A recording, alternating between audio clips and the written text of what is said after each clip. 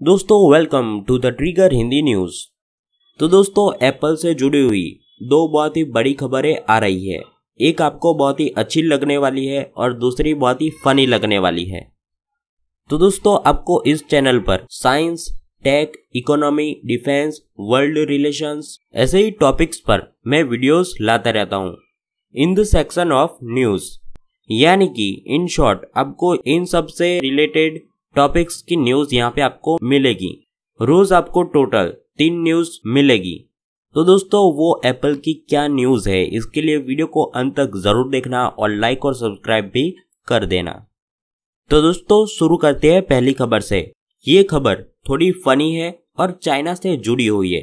अब चाइना का नाम आया है तो आपको पता चल ही गया होगा कि चाइना का और प्रोडक्ट्स का कैसा रिलेशन है।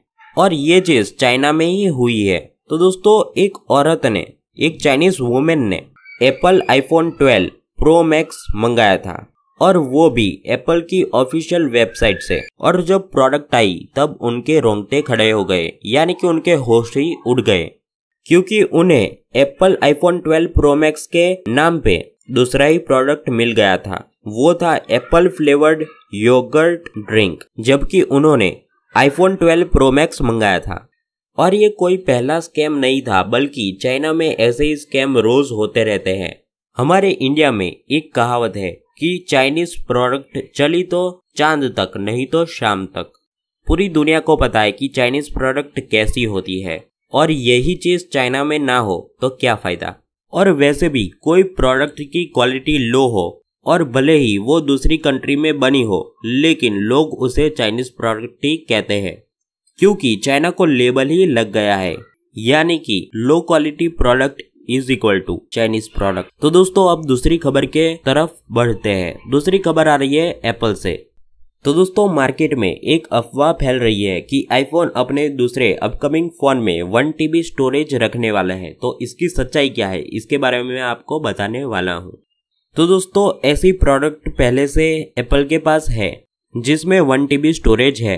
वो है एप्पल का high end iPad Pro tablet तो दोस्तों, अब बहुत सारी रिपोर्ट्स आई है एप्पल की, कि अब वो अपने अपकमिंग फोन्स में वन टीबी स्टोरेज देने वाले हैं।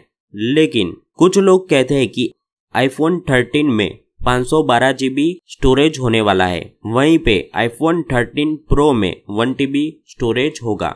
और इसकी संभावना भी बहुत ज़्यादा है, क्योंकि एप्पल अपने हर प्रोडक्ट को बहुत ही ज़्यादा इम्प्रूव करता है। जैसे कि उसने अपने आईपैड प्रो टैबलेट्स को किया है।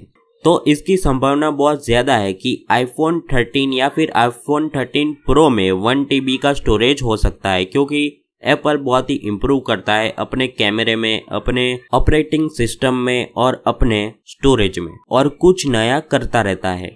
और लोगों को स्टोरेज की भी बहुत ज़्यादा ज़रूरत होती है आज के वक्त में, क्योंकि आज के वक्त में तीस जीबी पचास जीबी ये बहुत ही छोटी चीज़ हो गई है। और लोगों को और भी ज़्यादा स्टोरेज चाहिए। और एप्पल से ज़्यादा मार्केट को और कोई जानता नहीं मोबाइल के फ़ील्ड में। तो 90 परसेंट चांस है कि एप्पल अपने अगले आईफोन फ़ोन में वन टीबी स्टोरेज ला सकता है। तो इस पर आपका क्या कहना है? वो कमेंट करके ज़रूर बताना। और ये भी बताना कि क्या आपको वन टीबी स्टोरेज चाहिए अपने और किसी फ़ोन में या फिर एप्पल के फ़ोन में?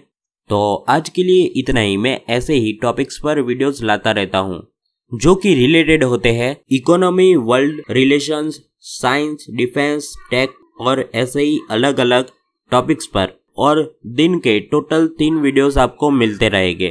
तो इसके लिए इस चैनल को सब्सक्राइब ज़रूर करना। और मिलते हैं ऐसे ही अगले इंटरेस्टिंग वीडियो में। तो good bye and see you in next video